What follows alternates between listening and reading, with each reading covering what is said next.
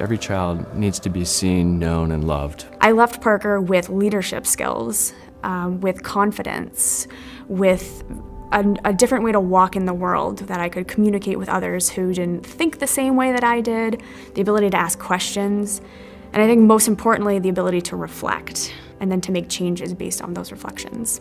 Big idea here is that students should be at the center of their educational journey. We'd rather have students go deep and truly, truly master the essential skills of academics and life. A community based on decency and trust, I think, is at the heart of what we do, and we can do all those other things because we start there. So, by putting students at the center of the educational process, they really come to own their journey. We really want kids to grapple with questions. We want them to um, explore different points of view and then come up with their own. Community and the sense of community that's created here is is instilled in you throughout your six years, and I think that it stays with you. Held the promise of doing school differently in a world that is so focused on data, right, and on high stakes testing of one kind or another. We're a strong counterexample and vibrant proof point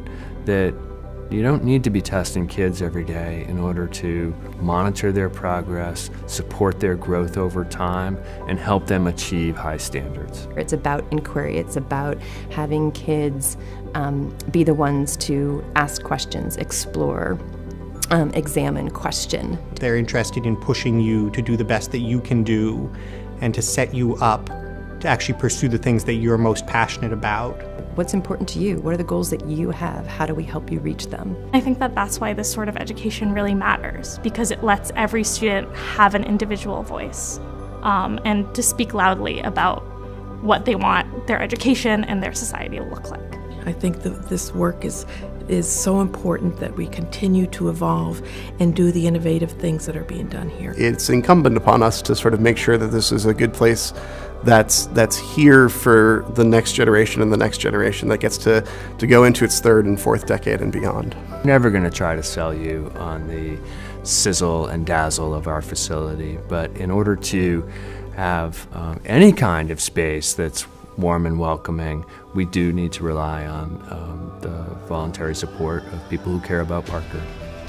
Because we now live uh, in, in a world which is changing all the time, and we can't be afraid of it. I talk to young people all over the country in the work that I do.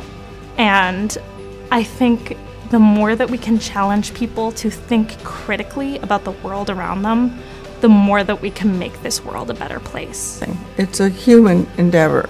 If we aren't very careful and attentive to the questions we ask, if we don't subject those questions to scrutiny and then go about answering them in as collaborative a way as possible, if we don't do that, we won't succeed. If we do do that, anything can happen. You're taught to ask hard questions and receive hard questions. What do you need to learn how to do in order to be successful in your own learning? Let's get there together. That's a really powerful um, way of defining education, and there are very few schools that have been committed to creating places where that can happen.